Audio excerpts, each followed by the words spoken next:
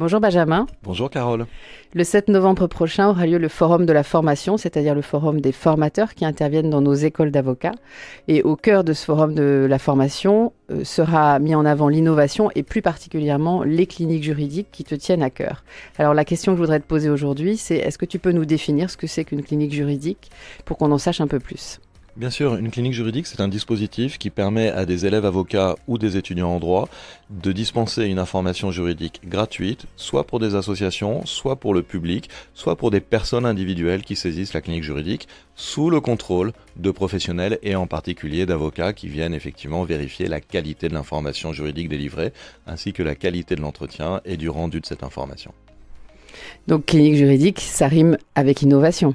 On est au cœur de l'innovation pédagogique avec les cliniques juridiques, puisqu'on va permettre, à côté des enseignements classiques des, écoles d'avocats et de l'université, de susciter un peu un intérêt euh, auprès de l'élève avocat qui, mis en situation réelle et sous contrôle, va pouvoir découvrir les vrais questionnements et les vraies interrogations du professionnel qu'il sera.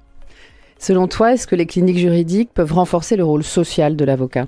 Les cliniques juridiques sont au cœur de la mission de l'avocat dans la cité, qui va permettre de toucher un public qui normalement n'aura pas forcément l'idée de consulter un avocat. Cela étant, il est évident que les cliniques juridiques ne doivent pas conduire à une démonétisation de la prestation juridique et de la consultation juridique.